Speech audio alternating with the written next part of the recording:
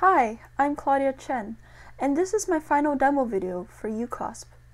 My first project for Review Board was improving the experience of users with red-green color blindness by introducing a colorblind-friendly color scheme that can be enabled in user settings. Here you can see it applied on the diff viewer page of a review request. Since my last update video, I've made it so that the color scheme now applies to the many diff viewers within review comments, as you can see here.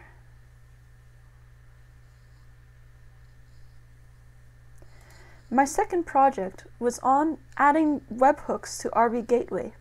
My previous demo video goes over the overall project structure.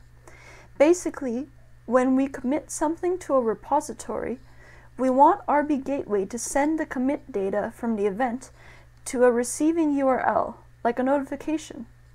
This can be done with the power of webhooks. I've added the ability to register webhooks to RB Gateway, and here's what one looks like within the RB Gateway configuration file. For my current demonstration, I have it hooked up to the, um, the repository of this current project.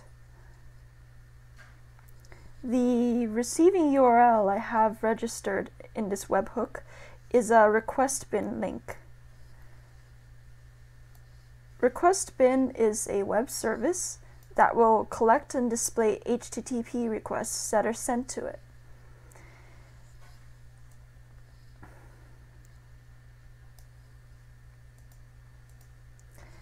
I've installed this hook script in my Git repository here that will invoke the webhook when a post commit event happens.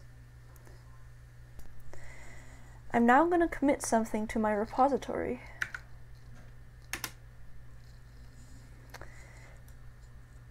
And I'm going to look back on the request bin page. Here's the most recent post request that it received and this is the post request that was sent um, by the invocation of the webhook on uh,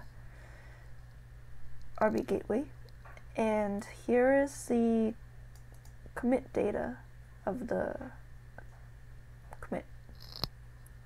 That's the end of my demo videos for UCOSP. Thanks for watching.